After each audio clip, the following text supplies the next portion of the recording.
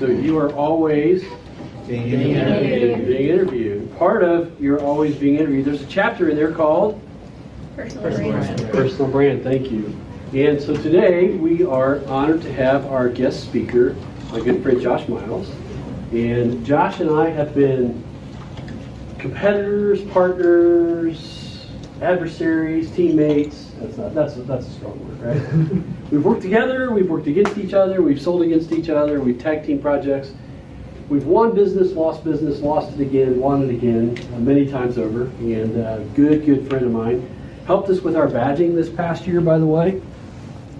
So Josh was uh, instrumental in helping define some of the digital storytelling badges. If you've clicked through some of those, he was one of our contributors. So we're hopeful he comes back on the 24th for dinner with us and to spend some time.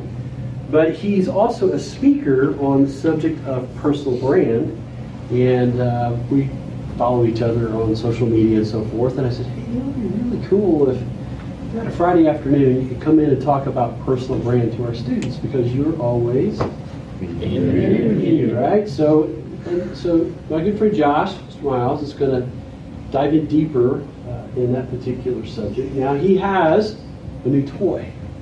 can I can I share your new toy? Uh, he, he just bought a drone.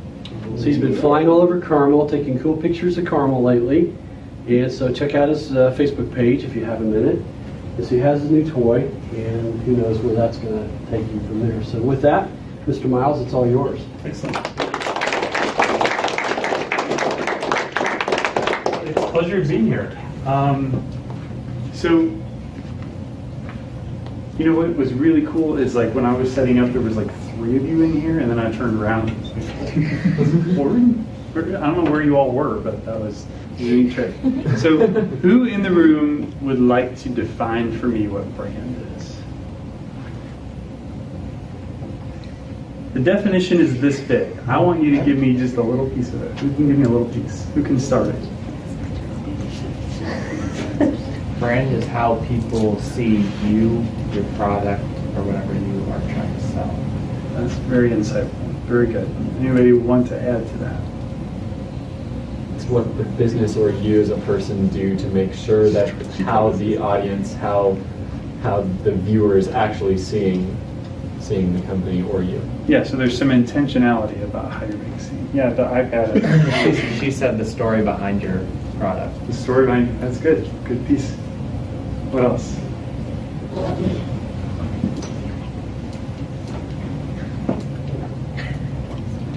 What else?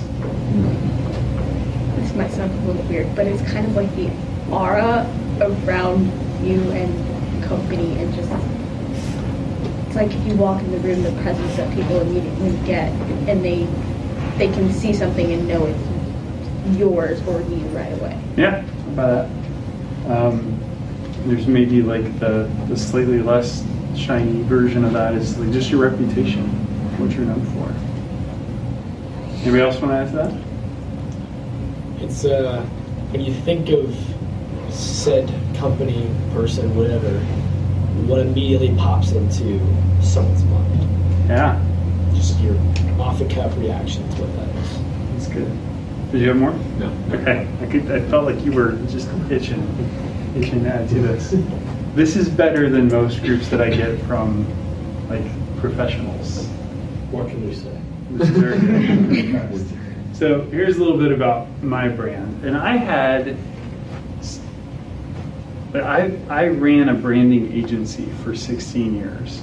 I was in the business of helping businesses and nonprofits, organizations from startup to enterprise, helping them tell that story, helping them intentionally shape how they're perceived. Uh, and also responding to how the market already saw them.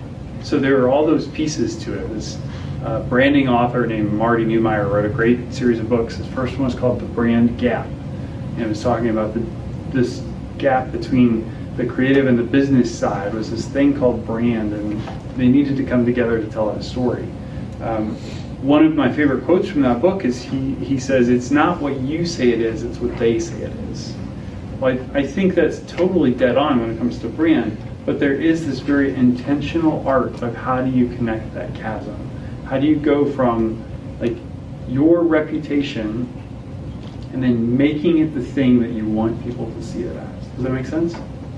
So, in this context of a guy who lives and eats and drinks and sleeps branding, I had this epiphany a couple weeks ago that I have been portraying my personal brand since I left my agency back in January as all the hats that I wear. As I'm a vlogger and I'm a podcaster and I'm a writer and I'm a speaker. Who cares? There's nothing that's unique or interesting about a list of your titles. This was my epiphany, was that, that my titles and my roles are not my brand. And, you know, never mind the fact that like that's not me. That's not who I am. My identity is not wrapped up in my vocation. But for for 16 years, my role was so clear in running this branding agency that it was that it was second nature. And then when I left that role, there was sort of this void again, and it was like trying to grab onto all these things and hobbies. And I have a drone. it's, it's not me.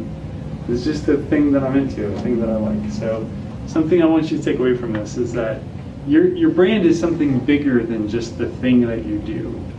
Your brand is bigger than a student. Your brand is bigger than an apprentice. Your brand is bigger than your part-time job. So my brand, as I've boiled it down, is really I have a passion to help other people take their creative obsession and make that into their profession. And that's the thing that I get wildly excited about. And if I go back in the Wayback Machine to sitting across the table from countless people that I interviewed in my agency, the thing that I was always most excited about was sitting across the table from someone who is talented and thinking in my head, is this somebody who's the right fit for my agency? And if not, who are they the right fit for? I referred way more people to go work other places than I ever hired. I think in total, I did the math at one point. I think it was like 50 different people who were in and out of my agency over uh, 16 years. We were a pretty small shop. So we, we could only hire so many people at a time. So there's no way I could hire all the great people that came through the room. But man, there were there are lots of great successful people in Indianapolis that I helped guide them towards one job or another. So this is this is really I think at the heart of of what my brand is about. So when I think about the work that I've done um, in writing and the work that I do in speaking today, most of what I speak on today is on personal brand, and, uh, and I think it's because of this. So here's a little bit about about who I am. You can decide whether this is my brand or not, but this is uh, my family. Um, just so you can see them a little more closely. These are my two ridiculously cute kiddos. This is not Photoshop there. This is what they look like a person. And just when I, you know, start to feel pretty good about myself, I get this kind of thing in Starbucks. Like, it's not that hard. Josh. there's no, there's no A in Josh. Um, and uh, you know, I, I would get so distracted with like, I'm going to talk about digital marketing, or I'm going to talk about talent, or I'm going to talk about all these other things, and it's kind of like the Incredible Hulk joke, you know, that I'm that I'm always angry. The secret is I'm I'm always talking about branding. So if you want like the the business to business version of Josh's take on branding, um, I wrote a, a version two of my book that came out last fall, which is Bold Brand 2.0 available at Amazon.com and other fine retailers. Um, so this is kind of the in-depth soup to nuts, everything from how to position all the way through how to market your professional services, B2B service-oriented brand. Um, my role today, since I left the agency, I went to go work for a membership organization for which it was one of the largest clients that I worked for before I left, which is really weird to go from selling a project to consulting for this client to going to work for them. Um, I rode a moose when I was with them in Alaska. it was a real moose. It wasn't a living moose. I rode it in Alaska. Alaska. So they ended up hiring me to be their vice president of marketing. So they are based, actually not in Alaska, they're based in Alexandria, Virginia, just outside of Washington, D.C. And so I do most of my work remotely. So that's one of the other many hats that I wear. Um, I have two podcasts. One's called uh, Professional Services Marketing Show that I co-host with my friend David uh, in San Diego, and I have another one called Obsessed with Design. Uh, on Obsessed with Design, we interview designers of all types. So graphic designers, illustrators, interior designers, architects. If you have design in your title or sort of implied by your job, um, that's who I'm interviewing. And if you were a fan of especially graphic design, it's some of the some of the biggest names in the industry um, that I have just sort of fallen into the ability to interview these folks. So it's pretty pretty fun stuff for me. Um, this is the thing I'm getting really excited about right now is uh, is YouTube. Any other YouTubers in here? Any podcasters in here? Yeah, sort of. No? Nathan. Yes. Okay. Any any authors in here? Yeah. Any bloggers? Okay. Good. Good. Any tweeters? Do we look like bird brains? Um, okay, good. So this was a little, um, I don't know what the music is going to do here. Will this play audio? Yes. We'll see. Volume's up. This will be the test, right?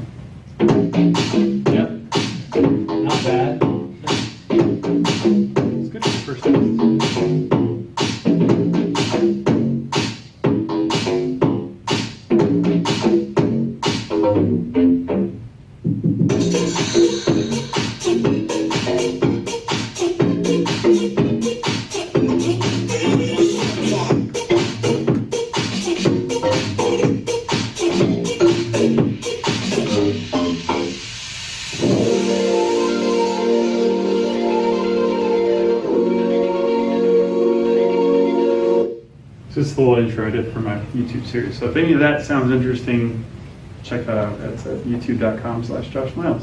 So that's enough about me. Why are we here today? What I want to go into next is, is Q&A, which is really weird at the 10% into the talk, but this is how I roll, so we're stuck with it. Um, we're going to talk about some things. Uh, we're going to answer the question, who am I? We're going to answer the question, what is strategy? We're going to talk about some strategies for standing out, and maybe we'll play with some toys here at the end. So, Q&A. What do you guys want to know about personal branding? Is there a specific type of font that's better than others?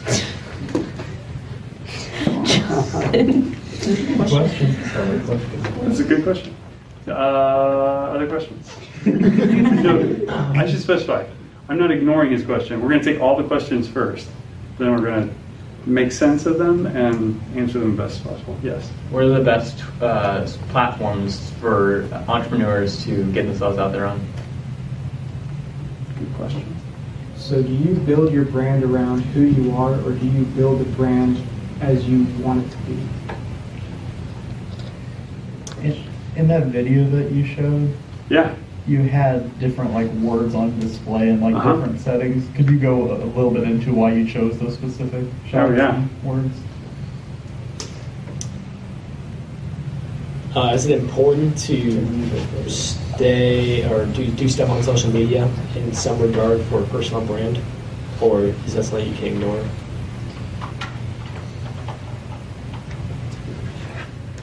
What is the most underused utility people have for branding? Oh, that's a good question.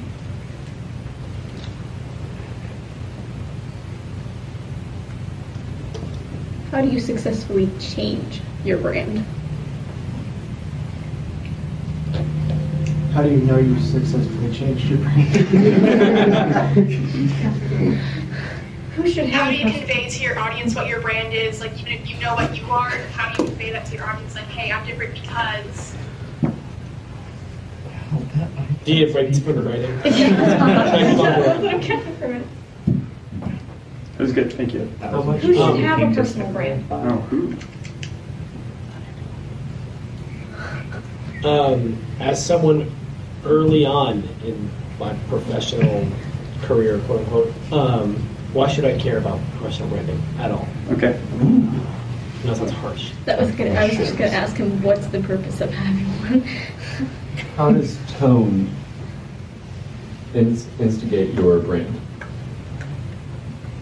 This actually goes back to the fonts, but how do you use colors to effectively communicate your brand? It's a legitimate question. No, it is. That's why I'm asking. It's legitimate, but you know, it's meaningful. Is personal brand something that you just have to be, or is it something that you have to promote? Okay. What's the biggest mistake you make when you're trying to brand, and how do you avoid it?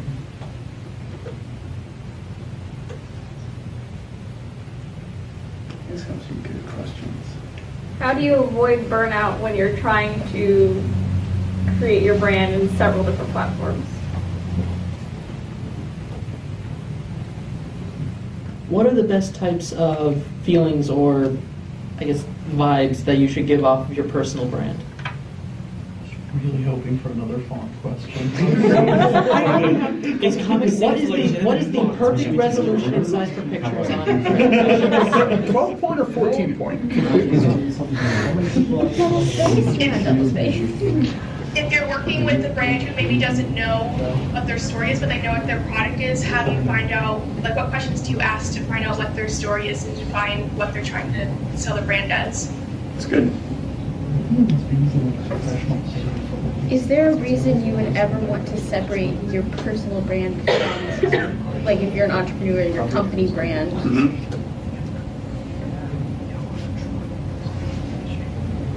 Is branding something that's for someone else or for you? In the sense that is it written for an audience or is it written for you? Mm-hmm. Are you actually live streaming this workshop? Maybe? No. No. He's No. recording it. Just recording? Nathan's recording. Okay. Well, I sort don't, I don't know. sort of being live There are streamed. things, yeah. To an audience of one, yes. I can live stream. To an audience of many, I don't know. Just record Maybe for it's it. That's that's a chair. Any more? What is one thing that you wish people knew about branding? What is What one thing that you wanted to know about branding, but that you haven't learned until recently? No, okay. We can do all these questions. What should you absolutely not do? Or maybe a top five of those things, because I'm sure there's more than one. And on the flip side, what are what is the one thing or two things or however many things that people should absolutely do? What was one of your biggest mistakes and how did you overcome that and work through that?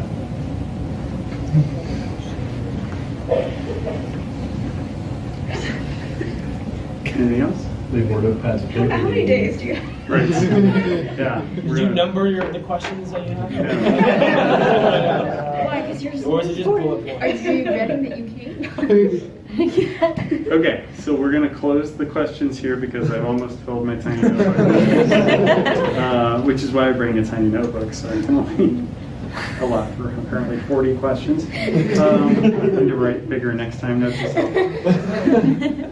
Okay, so the, you guys have a lot of good questions and have demonstrated, it's already said, a lot of insight about what brand and branding is. And just the fact that you're asking these questions tells me that you already have a good understanding of it. So, so that's fantastic. I'm going to order, answer these in whatever order I feel like, so just throwing that out there. If I'm skipping your question, I'm skipping all of them and picking the ones I want to answer first. Um, the number one thing, so as you may have guessed by the Hulk slide, I am a little bit of a like comic book nerd. Not that I collected comics growing up. I just really like all the Marvel and DC movies, and I just sort of geek out on this. Um, the Andrew Garfield Spider-Man was not the most popular Spider-Man. However, I loved this scene in the Andrew Garfield movie, and I want to play this one bit for you. And I want you to tell me what line you think I'm most excited about.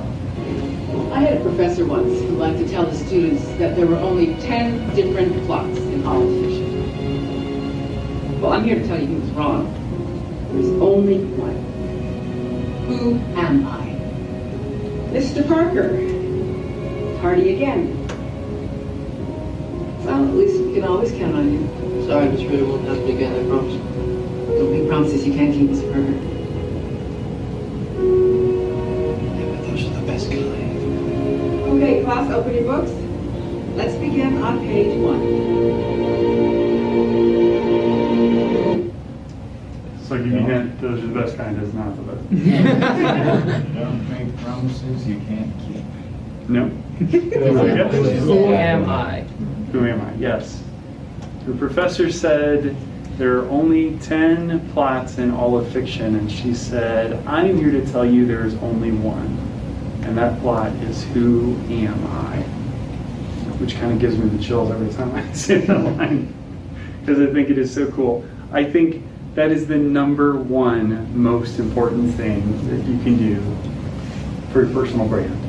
So, self awareness is a very difficult thing. And it's hard enough to help somebody else through it when you can see them from the outside. And especially looking at ourselves, it's kind of hard to see the label when you're inside the the jar. Right? Like you can't get that outside in perspective. So, taking the time to really think through not just how you want to perceive, be perceived, but how are you perceived, how do you want to be perceived, and really who are you? So, which which I think lines up on the opposite side with the number one thing not to do, which is to try to make your personal brand out to be someone who you're not. So if it is not authentic, and if it's not a reflection of you, and it doesn't it doesn't feel good, it it feels like a mask, then it's probably not your personal brand.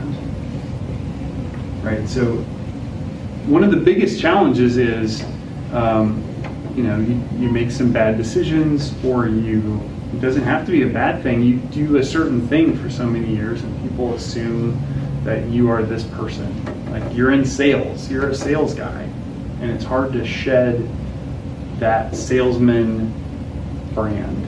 Or you decide that you're gonna race cars, so you're a race car driver. You know, like these are things that could be really tough to shed. So it's about being very intentional in deciding how to tell your story. So one of my favorite visuals for this is uh, is Pac-Man. How many of you um, have ever been to a networking event? Yeah, yeah, one or two. Um, so here's here's what we call in networking the classic show up and throw up, which is Pac-Man number one comes over to Pac-Man number two, and Pac-Man number two says, "So what do you do?" Well, you just wait. We do this and this and this and this and this and this and this and this and this and this and this and this. And all Pac-Man number two remembers is next time I'm at a networking event, I am not talking to Pac-Man number one over the cocktail weenies because this guy is a bore and he's all about himself and he didn't even wait to ask me what I did. He didn't try to find anything out. He just info dumped on me the entire time. And his breath is terrible. And his breath is terrible because too many cocktail weenies. However, if you flip this thing, instead of hitting Pac- poor Pac-Man number two with a wall, what if this is different? What if Pac-Man number two gets to go first? And he leads with the sharpest, pointiest, most memorable single fact about himself.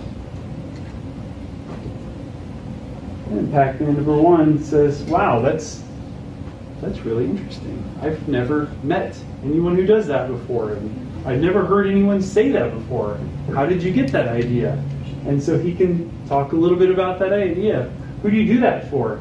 I can tell you a little bit about it. And how long have you been doing that? And where do you do that? And what are your clients look like? And, and how do they like it? And what are you going to do next? And he has the opportunity to talk about every other thing that he might have just shown up and dumped, but instead he invited a conversation. So this example is is not just about networking. This is also this is also your resume. This is also your website. This is also your social media presence. Does it lead with the single most interesting thing where there's hierarchy and it feels like this is the number one thing you want me to see. This is the number one thing you want me to get. And it stands out and it's unique and it's different. This is where the importance of who am I lives. It's not in these things. It's like the epiphany that I had. It's not in my roles. It's not in the hats that I wear. It's in what's the most important thing that is different and unique about me. Does that make sense? Um, how do you avoid burnout with all the multiple platforms? Um, I think this goes hand in hand with the question of who is it for? Uh, is it for me or is it for an audience? And I think, who is your audience? Are are you guys are always being what? Interviewed. By whom? Everything. For what? Everything. well, at some point we might want to dial it down a little bit further. But if we think about this in a professional sense, so we're talking about your professional personal brand, your individual professional personal brand. Who is the most likely receiver of that brand? Who's the audience for that?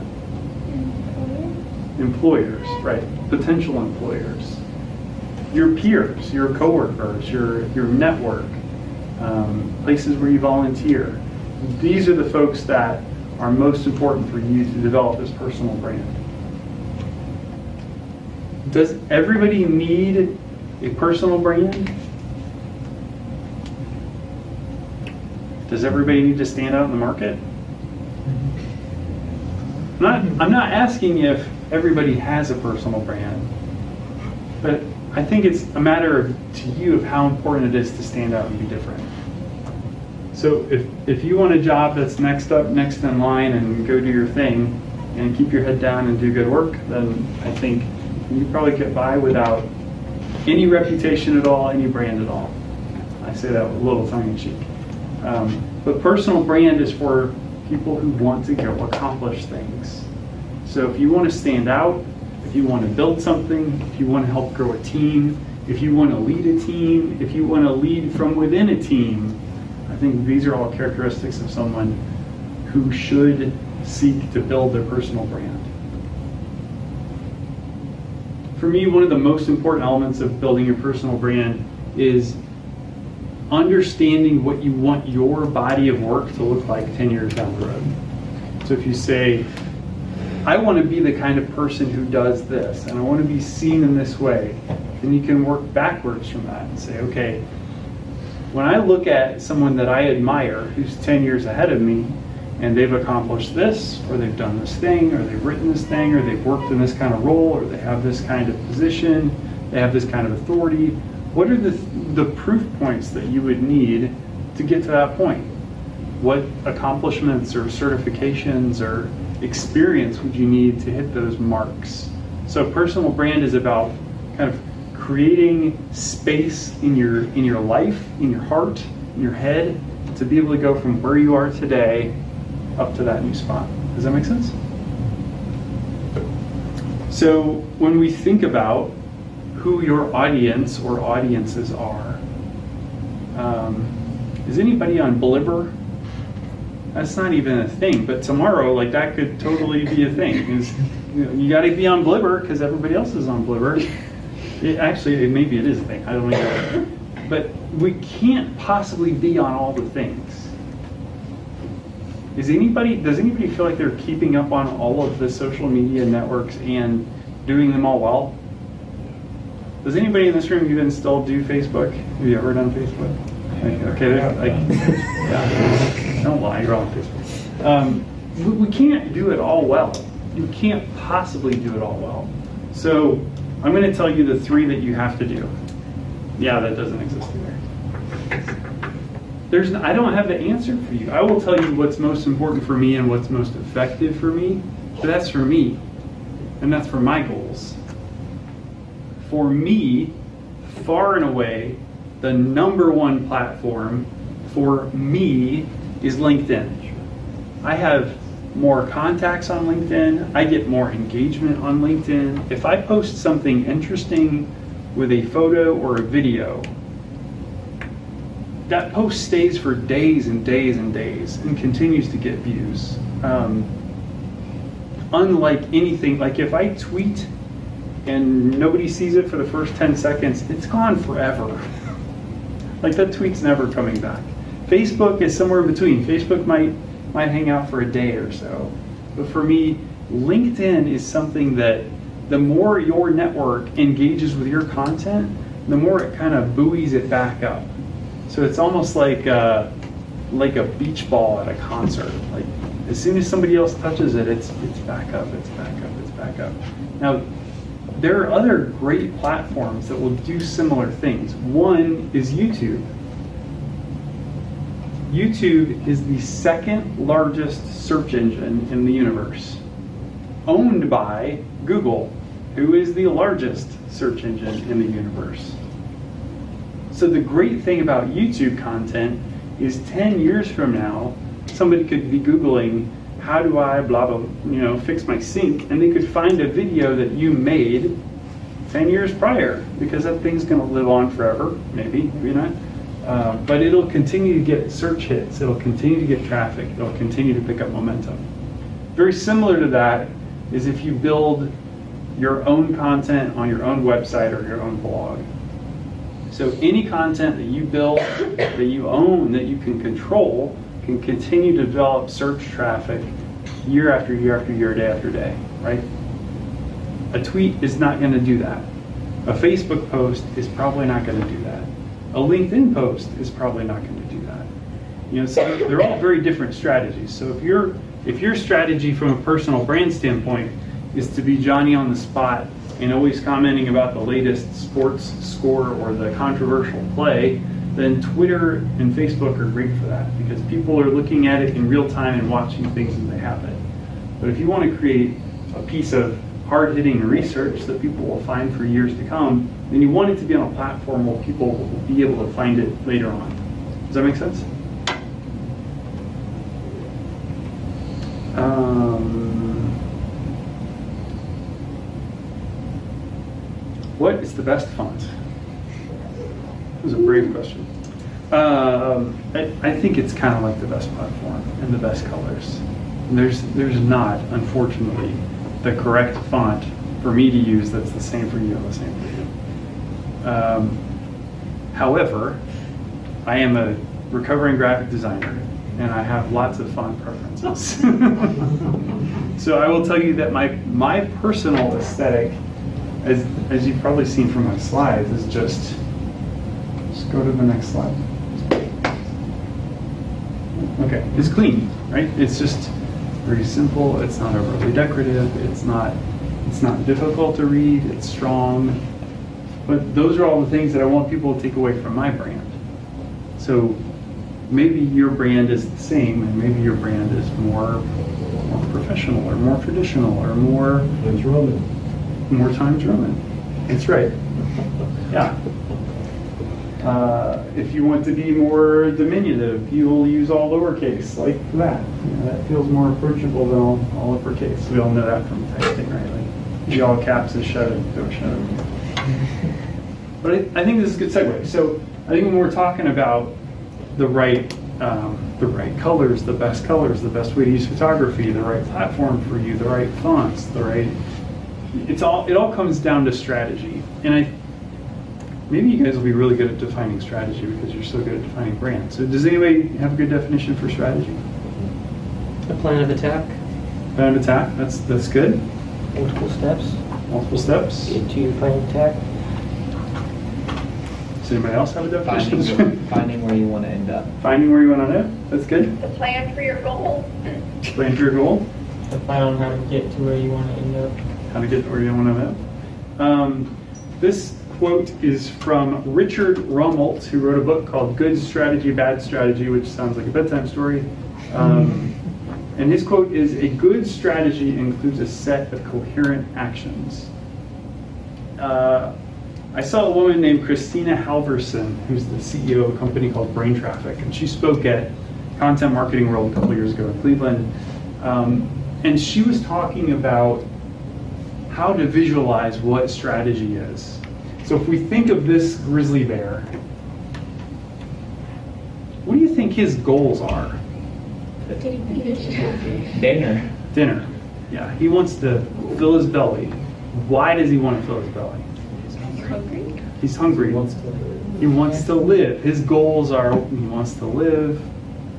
He wants to eat enough so he can hibernate that winter.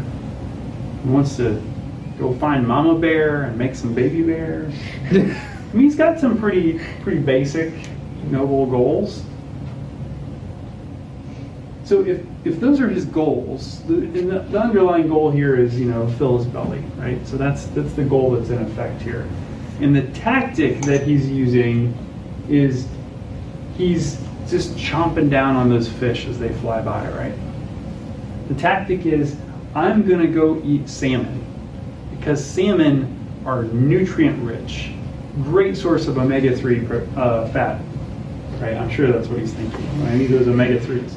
But they are dense, dense with great nutrition. So this tactic is fantastic. It's way better than foraging for mice and berries in the woods because you got to eat a lot of berries and a lot of mice to get, you know, to equal one bowl of total. What's his strategy here? Wait for the fish to come to him. Yeah, his strategy is he has physically moved himself and relocated himself in a spot where all he has to do is hold perfectly still.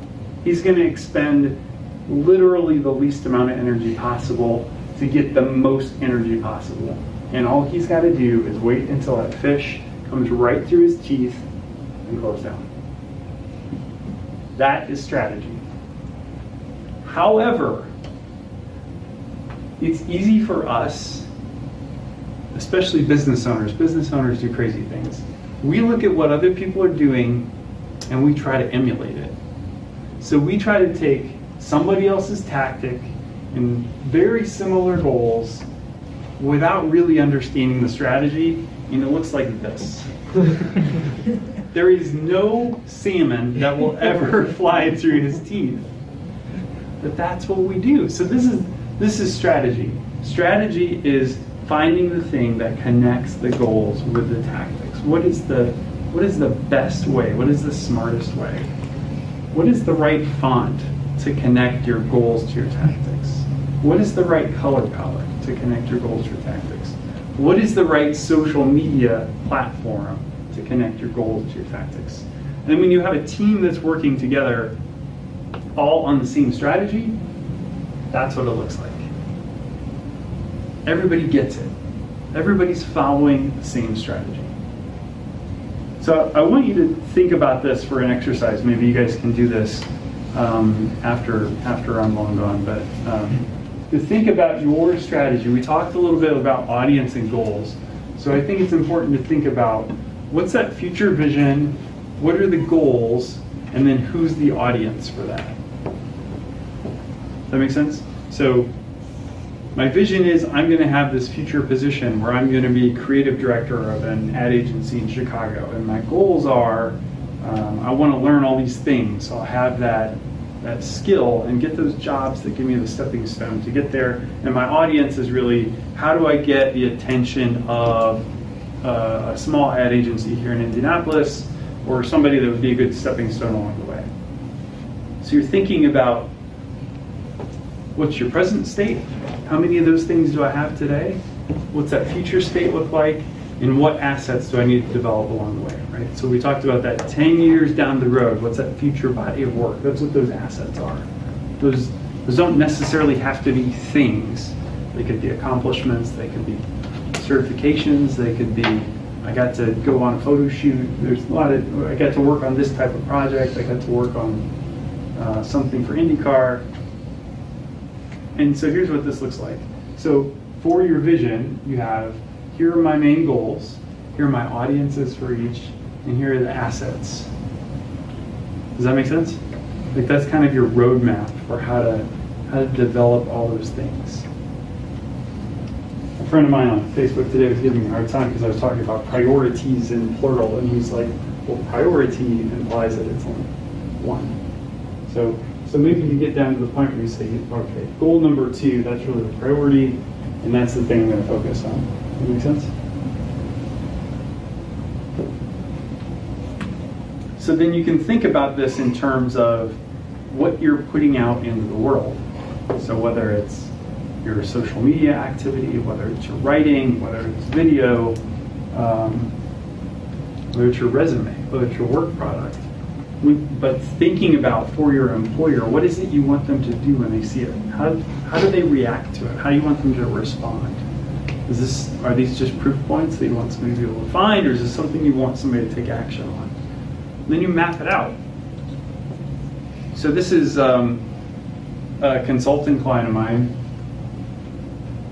For them, you might be able to tell their their email account, their Mailchimp account, is kind of the the brain of the strategy for them. So we're thinking through like how speaking gigs might come in for this guy, uh, and how we get to make sure these people are on his email list, and then what is it? What do they get after that? Email number one is thanks for joining, and email two is here's an example of me speaking uh, on YouTube. And example number three is you should buy my book. And example number four is something I can't read because my writing is that bad. And then the fifth one is you shouldn't really hire me and send me some money. So this kind of thinking through all the steps of this, right? So really understanding how you want somebody to interact. So I want you to guys to go back and, and do that on your own. So coming off of tactics, something we just touched on, I think the most underutilized tactic is email, which is like the least sexy thing that I could recommend. For me to tell you that drones or video or podcasting or Snapchat, like those are all much more exciting tactics. But I'm here to tell you that email is quite possibly the most underutilized platform possible. So why email? Email is a relationship and a conversation. There is nothing that is far more intimate, and I say that not to be weird, but when when you I walk around with this in my jeans all day long, right? And I look at it a thousand times a day, and I'm constantly, constantly interacting with messages that come through here.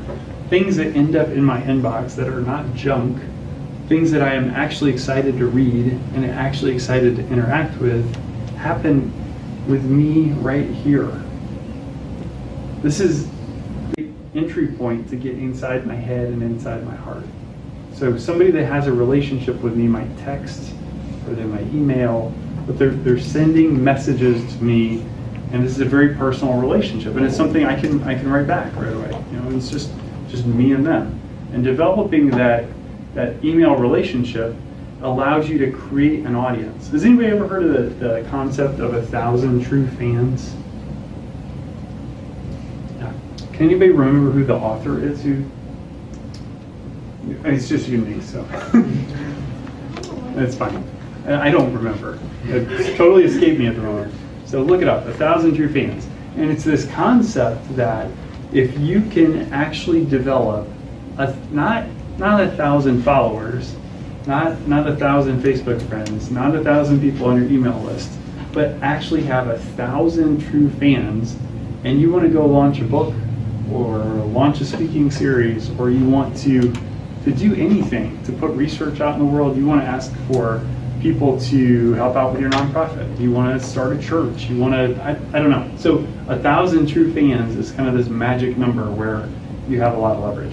Email is a great, great way to build that list and create what are called CTAs in the marketing world, which is a call to action. So, which doesn't have to be salesy at all. Just when you ask your true fans to do something, to, to like a post or to help you with a thing or to give you feedback or to give you an opinion or to weigh in or to support you or to help you when you're down, um, that's a pretty powerful driver. This is getting really, is anybody doing marketing email? Is anybody building their own email list? I'm about to. Cool. So just me and you. Um, some of the most important things for you to think about for email is making sure that you have a from name, which seems really obvious, but mm-hmm. so when when I'm triaging email, like this thing fills up really quick, and I want to get it out of there really fast. And if I see your name and I go, oh, that guy, that's a good start. So then seeing the subject line is the second thing that I see. the subject line should not say October newsletter, ever. Because there's no time in history that I've ever opened my email and gone, October newsletter, that's great, I, I don't care. It doesn't tell me anything. I want to know something exciting. So if it's something like why I joined Apprentice University, okay, that's interesting. Or why I think Josh Miles is full of crap, also interesting. I'll read that. Um, but October newsletter sounds like every other newsletter that's in my inbox, so don't do that. And then there's this thing that you can control on most email services. And if you're not using a one-to-many kind of service and you're just literally sending an email, it's going to be the first line in your email. So again, you don't want that to be, um, if you can't read this message, view in a browser, because that's what it says by default in most of these email marketing services. Because again, you're just wasting an opportunity to get my attention. So have that be a payoff to whatever your subject line is. And then send email that you would want to read.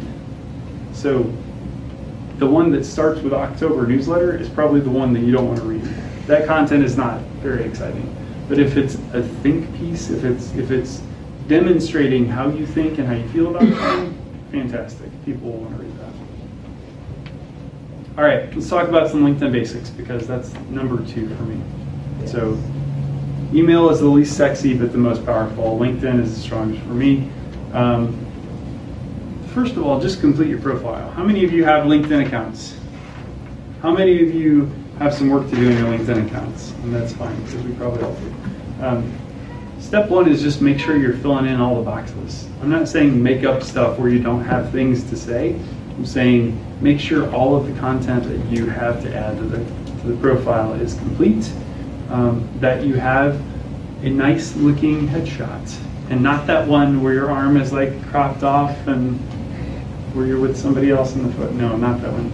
Not the selfie, like an actual nice headshot would be great. Your headline on LinkedIn, how many people know this? Your headline on LinkedIn does not have to be your job title. However, when you add a new job onto LinkedIn, by default, it will try to take that job title and make that your headline. That's nice of LinkedIn, but again, it's kind of like you are not your role.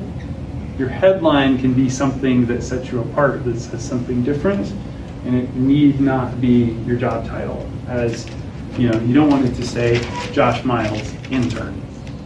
Even if you are an intern, they can go two clicks further and see your current position as an intern. That's fine.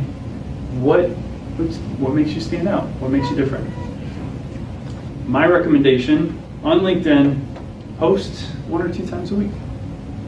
Just try it. Try it for for two weeks and tell me you aren't hooked. This is content again that everybody who touches it, help your friends out. Everybody who touches it, that content's gonna float back up to the top. It's it's pretty amazing. Um, with the caveat of include a photo. So if you've got something interesting to post on LinkedIn, find a relevant image. Go take a relevant image. We all have like super cameras in our pants. Just go find something cool, use that blur filter, dress it up in Instagram, whatever. post that with your LinkedIn post and tell me that it's not a miracle. Yes? And if you don't have anything interesting to say, is it like at a certain time to share something else? Somebody has maybe a comment on somebody else's? Yeah, that's great. I was going to say get a hobby. Um, get a hobby. Um, no, absolutely. Commenting on other people's stuff is is also very effective. So you're helping somebody else's content pop up, and people see the interesting comment that you had on their things. You share things. Um, this is a great way if if you want to impress Ron, you wait for Ron to post something, and you're like, "Bing." That happens. That's really Yeah. good. Ron, I loved how you said that thing. That was so funny. So, and then the next post, you say, "Bing." Ron, why did you say that? I'm, I'm really curious what you think about this. So what's happening? You're you're creating this conversation now with, with someone on doesn't necessarily have to be LinkedIn, but with whatever platform you want to get their attention. You know, you're short of stalking them, sort of following them around the internet and trying to create some relationship. It's a it's a great entry point. Yeah. Um, how are we doing on time? We're doing great on time. Can we be more specific? I should have asked a more specific time question. Five. Okay. Okay. Cool. Yeah. Great. Uh, do you guys want to talk about podcasting? Yes. Yes, please. Okay. So I have one podcast that I started and one that I adopted. So it was launched by a uh, an agency in Australia, and they had interviewed me for the podcast, and then they had interviewed me a second time for the podcast. Um, and they said, you know what, we're getting out of this line of business, and we think we just want to give it to you. And it just turns out that the organization I work for now is also in that line of business, so it made sense for uh, David and I to take that one over. However, this is about how to launch a podcast. This is not about how to adopt one. So, if you're going to start a podcast, this may sound a whole lot like my personal brand uh, recommendations, but first of all, it's most important to find your audience and your voice. So, if you go back to like 12 minutes ago, the least sexy but most powerful tool you have at your disposal is what? Email. Why is email so powerful? Create a relationship. Yeah, how do you create that relationship? Communication. Yeah, you're sending them messages that matter. You're developing this ongoing relationship where every week or every month or every other month you're sending them something about how you think and what you're excited about and what you feel and what your opinion is.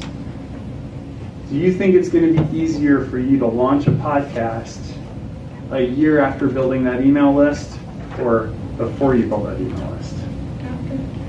After. After. Why is it easier after? Because you already built that relationship. Because you already have an audience that already knows your voice and they already know, like, not literally hearing your voice, but uh, on a podcast, they're literally hearing your voice. So great to have an audience to promote the podcast to before you have a podcast. Uh, and voice is not just about what you sound like, but also you had a question about tone. So like how how you talk about things. And again, not not what your tone sounds like, but you know, are you are you argumentative on your podcast, or are you um, do you sound like a psychiatrist, or are you you know interviewing people and kind of are you a talk show host kind of personality, or um, you know do you bring do you bring guests on, or do you just have regular co-hosts and you guys get on the get on the podcast and just kind of talk about things or make jokes or have fun. So understanding kind of the format is uh, is my next bullet point that I stole for myself, whether it's an interview, monologue, or co-hosted. Um, don't feel like you have to do all the technical stuff yourself. I mean, you're gonna have to pay someone, maybe on Fiverr on the cheap side, um, but there there are people who will produce a podcast for tens of dollars per episode. You just got to go find them. Uh, if you want to do a everyday pod- podcast, even 50 bucks a day adds up real fast. But um, but don't feel like you have to know all the technical ins and outs to do it. What I feel like you do have to know is what you're going to talk about. You got to get that voice and audience straight. Um, decide how you want the format to work, and then work with smart people. Maybe maybe you have friends who want to get into audio production. and Maybe they want to produce the podcast for you. The entire room wants to be on Yeah, that's awesome. So produce each other's podcasts. Um, this is this is the most important tip that I think I have for podcasting. If you are going to launch a podcast, um, and the only way this doesn't work is if you're doing something that's super timely, like sports scores of the day, or reviewing this week's episode of Game of Thrones, or you know, uh, or you're like launching a, a church service or something. Like the only way this doesn't work is if you're working with super timely material. So otherwise, launch with a stockpile. What I mean by that is the current belief of the Apple podcast al- algorithm is that total downloads is the most important factor for them putting you up on lists and featuring them in their new and noteworthy sections. So if you want any chance of being featured, you need to get as many people as possible, not listening to one episode, but listening to as many different episodes as possible. So if you go to market with three podcasts and you have a thousand people listen, that's three times as many as one podcast, and those same thousand people listen. If you launch with 12 podcasts, you, you guys can do the math. You guys get how this works. But having the exact same audience listen to multiple shows at launch is way more interesting to Apple than having your audience only listen to one or two. Does that make sense? I think I launched with like six episodes in the first two weeks, and I wish I had 12 because I I made it onto lists, and I could have been way higher on those lists if I had doubled that that entry point. Um, most podcasters quit. Period. So if you get past three to five episodes, you have already done more episodes than the average podcaster. It is a, it's tough to keep going, you know, because you have to build up so much momentum before, most people have to build up lots and lots of episodes before they get thousands and thousands of listeners or can get sponsors or can actually make money doing it. So you gotta, that's why building that audience is so important, building that email list first. So one of my mistakes, not launching with enough podcasts. Maybe not launching with a big enough email list. And I would say don't let uh, great get in the way of doing a really good podcast. No matter how much you practice, no matter how much you tune in your audio gear, no matter how much you listen to whoever your favorite podcaster is and try to sound just like him or her, you will listen back to that first episode a year from now and go, oh, that was awful. It wasn't actually awful, but you will see how much you have grown in that year. So waiting until it's perfect to launch is really kind of a silly errand because you're going to grow so much just in doing your show uh, than you ever are if you just try to make it perfect before you go live. Does that make sense? Who has questions about podcasting? Yeah. Why would I podcast? Why would you podcast? Why would I want to do that? That sounds really harsh. I'm, I'm actually really interested, but like I just want to know why. Like, sorry, that came out really harsh. No. I'm just so terribly sorry. There are, there are only like millions of podcasts, so this is not me trying to convince you to podcast. Um, so podcasting, let me flip this. Uh-huh. Why would I listen to a podcast? How many podcast listeners do we have? Yeah. Why do you listen to podcasts? I really, I just think I just care about myself is I love listening to people talk, Uh-huh. especially when it's something that interests me or something that's funny. Mm-hmm. I just, I'll listen to that. Yeah. I go to sleep every night. I'll pop in a podcast, while asleep. In Yeah. the So it's usually like a nighttime routine for you? that and anytime I'm in the car, pop on a podcast. Yeah. Doing chores, pop on a podcast. Anybody Doing work. have more to add to that? What what do you when do you listen to podcasts?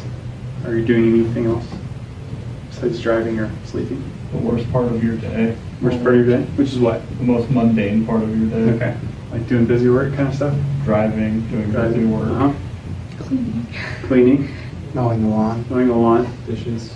Dishes. When you literally feel like you don't want to do anything, Yeah. but you want to kind of be slightly productive, so you Yeah. listen to something to learn something, so you can feel good that you're not doing anything. Yes. Not speaking from personal experience. no way. No, just just theoretically. It's a friend. I had for a friend. Um, Asking for a friend. So, did you notice anything about that? All of those comments? It's when you can focus on it. N- yes and no. Can you drive to work and watch YouTube? I mean, can. Yeah. Can you, can you drive to work and read a novel? Yes. Can you can you mow a lawn and like type a term paper? Yeah, if you're The, really good at the amazing part about podcasting is it's almost always consumed while you're doing something else. And it's kind of like listening to music, right? Like this, this isn't a brand new concept, but But audio is awesome because you can pop in your earbuds. And I was listening to, uh, not a podcast, but I was listening to a book on Audible on the way over here at two speed because I'm crazy. I just can't get enough information. So I listen to it faster um, while I was driving. And while I was getting turn by turn directions through the same headphones on how to get to French University. At 2x speed. Yeah, at 2x speed. yes, and the, the Jeep was also at 2x speed. Um, so that's that's a big why people consume podcasts. So I guess what I'm saying is, is there is a huge audience out there of people who want to get something from somebody. They're going to find it somewhere. Do you want to be the voice that's sharing it with them? Do you have enough to talk about? My guess is yes. So, do you look at podcasting as a an entrepreneurial, whatever you have that? I can't. Uh, endeavor, or do you look at it as I guess these these are kind of one and the same, but they're kind of different. Do you look at it more of a branding endeavor? Is it more of a thing you do so you can build a brand so you can use that brand in other places, or do you look at podcasting as oh this is a good money making endeavor, you know, along with other things? I think back to our grizzly bear, it's the strategy question. So it, it can be those two things, and it can probably be lots of other things too. It could probably be a business development tool. It could probably be a, you know, we talk to these people about these kind of projects because it's the kind of projects we do, and we want you to call us to do that project. Or, you know, I want to be a speaker or stand-up comedian, and so I'm going to get on the podcast and do comedy because I want people to call me up and say, "Hey, we're going to pay you ten grand to come speak to our comedy club."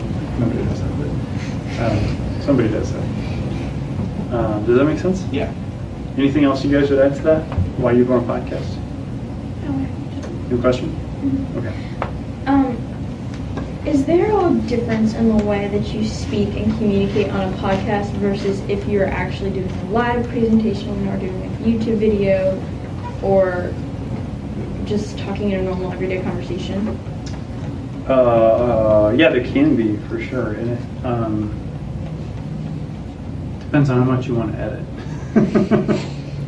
you either get really good at just flowing on the microphone, I mean, rapid, um, just like so you don't have to cut out the ums and the ahs and the pauses and looking stuff up and the oh, hang on, let me get the doorbell. Like for me, I like to have everything where I need it. It's all within arm's length. I've got my notes here. I've got my questions here. The mic is here. I've got the mute button in case I need to cough, so that there's as little editing as possible on how I want to chop that up.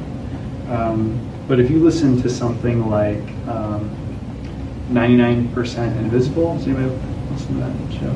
Or, um, or Reply All, or some of these like really heavily produced shows where it's like somebody's giving a quote and then the producer comes in and says, that's Avery Trufelman, blah, blah, blah, blah, blah. And then they come back and there's another quote and there's a sound effect and then there's music and then there's like a pause with some stuff. Like those podcasts take days and days and days to produce.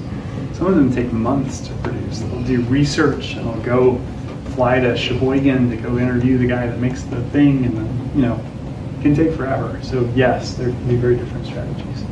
What kind of equipment and software would you recommend? Literally just about to ask. Okay, yeah. we're thinking together. Would you recommend for people just trying to start up a podcast? Just trying to start. Um, you can totally get by with a laptop and Skype. And there's um, Skype may have this installed now, but they, there's a plugin called Call Recorder. It's like twenty dollars. So There's also a free program called Audacity that's fantastic.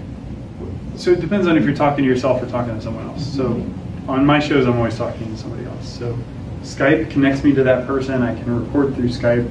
I can put in my earbuds, my Apple earbuds that have I can hear and speak at the same time. That's like the cheapest possible setup I think that you can do. Um, taking it up a notch, there are a couple really good uh, USB microphones, um, and I've got a whole like collection of PDFs and recommendations that I've collected over the years. And if you want, I'll just share it with you, and then you can distribute to the class. So just just remind me to do that. I have it handy. I can just. Um,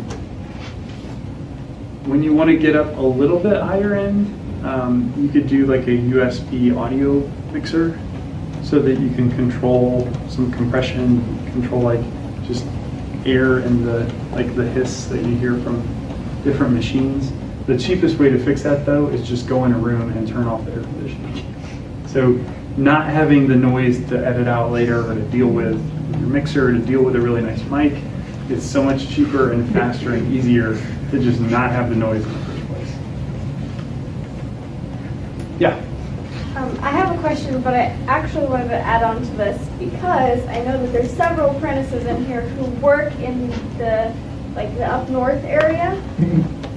if you're really interested in starting a podcast but don't have money, the Carmel Public Library just created this digital media lab, and they have a sound room with like two mics, an audio mixer, soundproof, no like room noise. It's weird.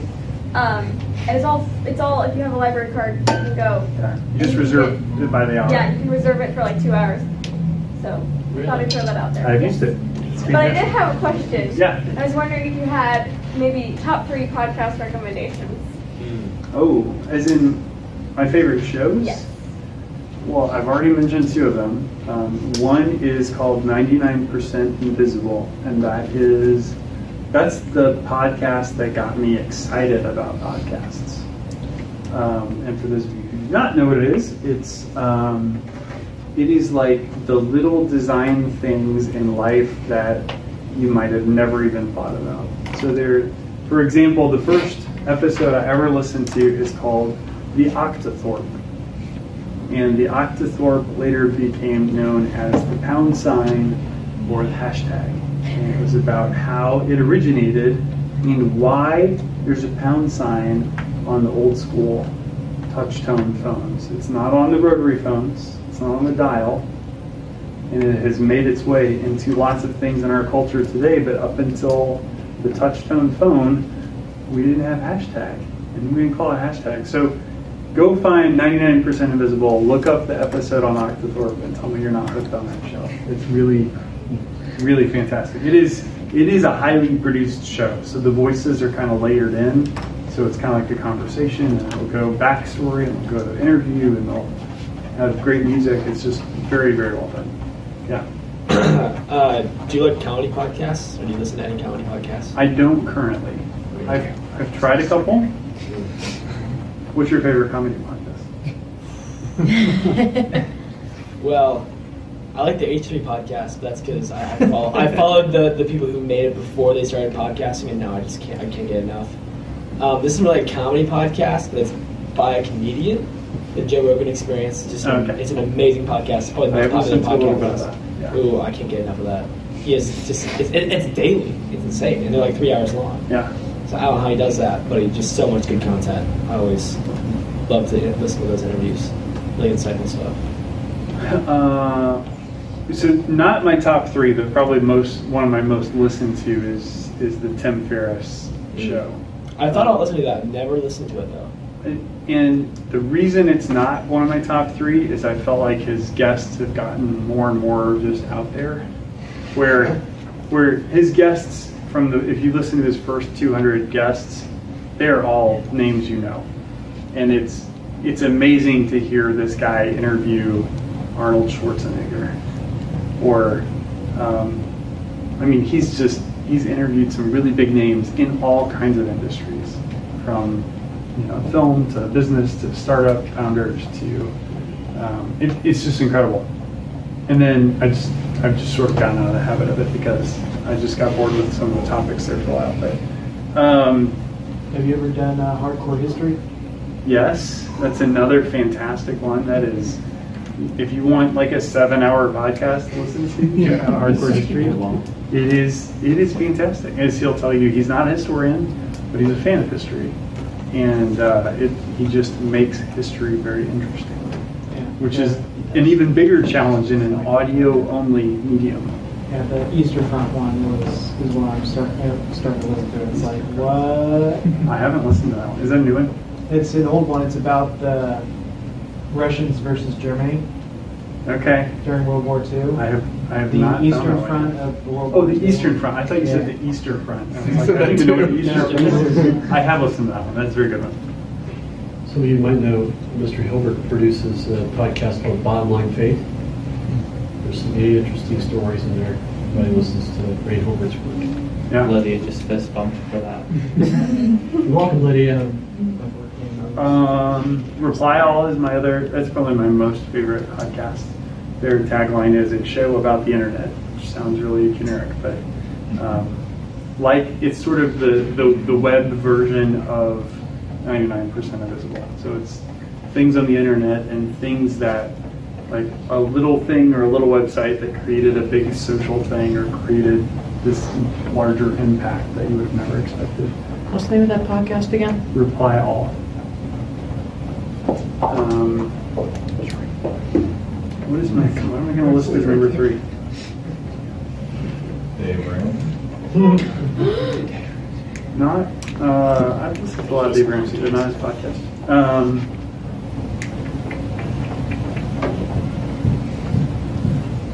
I think if I'm, if I'm being honest, my, my brother's a pastor up in Granger, and I listen to his, his services podcast probably as much as those other guys. Cool. Um, it's called Oasis Granger, is where you will find his podcast. They're changing the name of the church to Influence without the I, just the letter N, Influence. Uh, I don't think the podcast says Influence yet. I think it just says Oasis Granger. So his name is Lucas Miles, and he also has a second. Sh- he's sort of a, an odd duck too because he's a pastor and he's a film producer. So he has another show that's just called the Lucas Miles Show, where he interviews um, people who are in the intersection of faith and entertainment. So actors who are in faith-based films, or producers, or um, authors, or you know, so. Um, Hendrix Brothers? the which? Hendrix Brothers? The guys behind the Facing the Giants. I don't think they've been on there yet, but like most of the other big films that are faith-based, like have, that have hit the Hollywood. Um, Television. Yeah. Um, he had, uh, and he had like Michael W. Smith on a couple, couple months ago. He's had like some some really big names, so it's like it's super cool. Yeah, I mean, short of Jesus, but he had he had Jesus Jim, always on the show. Jim Caviezel was on Yes. the show. Hmm. Jim Caviezel was on the show, so he interviewed Jesus. Um, and uh, I don't know. There's a, there's a lot of good ones, so check out that. It's it's fun listening to your brother on the radio. I did do Um, that actually. My brother used to work the IWU radio station. So. yeah, that's cool. Um, other podcast questions?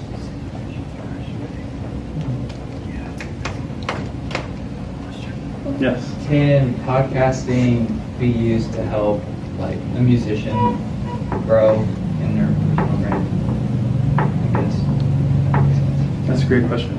Um, another show that I listen to is called Song Exploder. Anybody listen to Song Exploder? Yeah. this girl. um, Song Exploder, their tagline is something like where musicians take their songs apart and put them back together. So kind of most of the time the, he'll interview the musician, and you never, you seldom hear his question. You just hear their story. So you don't hear him saying, "And what was your inspiration for this song?" You just hear her saying, "My inspiration for the song was I was in a really down time." You know, so whatever interview sounds like. Um, so you hear that through like, okay, and then I I just grabbed my phone and I laid down this sample track, and you hear like the acoustic, and you know they're singing in the bathroom, and you hear, and then, so we went into the studio and we laid down this track, and then we, we did this thing, and so they layer it all in, and at the end of the podcast, they play the whole thing together, which is really cool. Because a lot of times they're like, yeah, we did this one thing, and it totally didn't work, or I thought it was going to be at this tempo, and that was just the wrong tempo, and the producer said you should try this, and that blew my mind. And, you know, so it's, it's really interesting. So there are good examples of musicians and podcasts being a thing. I don't know about just like just playing your music and making that podcast. Yeah, no, that's what. I, that's I mean, what- maybe somebody knows of those, but I, I don't. What was that called? Song Exploder. Song Exploder. Can we get you some clean dance? All right. Okay. answer now. Um, any more podcast questions? Yeah. This, this is my last question. I like three. Um, Yes, you are at your max. sorry. Uh, No more curiosity from you, sir. Um, so let's say someone wanted to start a podcast. How would you even? How would you get? How would you get the word out? When you're starting a podcast, I feel like Apple Music or any other podcasting app, Mhm. they don't really have a way for you to branch out and to get your get your your podcast out. It's just Mhm. kind of is self-contained. That people listen to it, they listen to it. If they don't, they don't, and that's kind of there. Yeah. So how do you go from here's my podcast to okay, I want to get this into people's ears? Yeah, so um, short answer, short version of the answer is I think that email list is, is invaluable. So if you've got 500, 1,000, 5,000 people or 50 people that you can send them straight to Apple to download that podcast as soon as it launches. That's really helpful. So if you, if you don't have an audience you're already speaking to, it's hard to just get everybody to go listen to your podcast. And so develop the audience first. A podcast, in essence, even though it's free, is still a product. Yeah. So you're trying to get somebody to consume your product. You need to figure out who that somebody is first. Gotcha. The, the longer answer will be found in some of those PDFs that I'll share with you guys. So it's just um, some really great tips and recommendations for how to get stuff out there. Um, it's complicated. There's not like a really easy path yet. Um, where with Google and Instagram and YouTube, you can just pay for more eyeballs. If you want more eyeballs, pay for them. Buy ads. You want you want a thousand people to see your video this hour, you can make that happen. You put your credit card in, hit the button, dial it up, hit go, thousand views. There's not a mechanism, not a great mechanism for that outside of advertising on other platforms for your podcast. So building the audience is really the most important thing, and hopefully there will be some other good tips on our other stuff. Does the same apply to starting a YouTube channel? It's a great segue. Let's talk about YouTube. You're welcome. YouTube, you say? Why YouTube? Um, so this is the thing that I'm working on right now, and I will tell you, as challenging as growing an audience for a podcast has been, growing an audience on YouTube is even harder, which is kind of crazy. Um, so people ask me a lot of times, like, so should I put my video on YouTube or should I put it on some other platform? Like, should I just just put it on Facebook or should I just put it on the website? And it doesn't have to be either or. Like the thing that we we talked about before is it is literally the second largest search engine. So no matter what you want to do with your video as your primary place, also put it on YouTube. YouTube probably should be the primary place, but no matter what you think your primary place should be, it should definitely still belong on YouTube. Um, YouTube looks at things like your subscribers, your watch time, and just generally engagement. So, um, in, in a similar way to how Google rewards you for creating good content, and what that means to Google is when people search for things and they find you, if they click on your page and then two seconds later they're off of your page, Google knows. Google knows everything. These cameras, that's Google. I'm not that crazy. Um, but Google knows what the behavior is when you click and go and then come back. Google knows how long you were there. And it's the same for video. So when your video gets served up in search results and somebody watches the first four seconds and then they bail, Google knows that. And the cool thing is, as a YouTube producer, you can look at your own stats and you can know that too. You can know that people typically peace out on my videos 20 seconds in. Well, that's a problem. What am I doing 20 seconds in that's so awful that people people are bouncing? Why why are they leaving? Um, you can organize by playlists and topics. So similar to um, to Google things, you can create keywords and descriptions and titles. And, and the name of the game, if I leave you with nothing else from a how to uh, uh, influence Google and YouTube, is just consistency. So if you think about what's the thing that I want somebody to search for and find my thing, whether that's a web page or a video, that's what you should name your thing. So if you want people to, to search for and find you, how to repair 12 year old Chuck Taylors. If that's what you want them to find, then your video should be called How to Repair a 12 year old, or How I Repaired My 12 year old Chuck Taylors. And then when you upload that video file, that's literally what the video should be called too. And then in the description, you should not just repeat those words, but you should unpack what that means. I have 12 year old Chuck Taylors, and I was able to repair them, and you can too, and it's really easy. And I'm going to show you the three steps for how to do it, just using super glue and duct tape. I've never actually done this. Um, so consistently creating all that content, and then you have a place to do keyword tags. Chuck Taylor, 12-year-old Chuck Taylors, broken Chuck Taylors, how to repair 12-year-old So you're consistent with all of that content. Does that make sense? So then when the search engine, is pretty smart but not that clever, goes to find, to match up a video with somebody who searches that phrase, I guarantee yours is going to be one that gets served up. And the more often it's viewed, and then the more frequently it's watched to the end or watched in length, the more Google, aka YouTube, is going to push that content out. Does that make sense? Consistency is key. Um, like we talked about with the email, at some point in your video, this is your chance to have a call to action or CTA. Um, again, it doesn't have to be a sales tactic. Just ask them to do something. Subscribe. Yeah, make sure and hit subscribe. Hit that subscribe button. Hit like. Hit the bell. Ring that bell. Smash it. Comment down below what you think about this. I'd love to know what you think. Yes, in the comments, tell me. I'd Yeah. like hear what you guys think. Right, and pay attention to your analytics. Um, what else? Let me see what questions I have not answered, besides lots of them.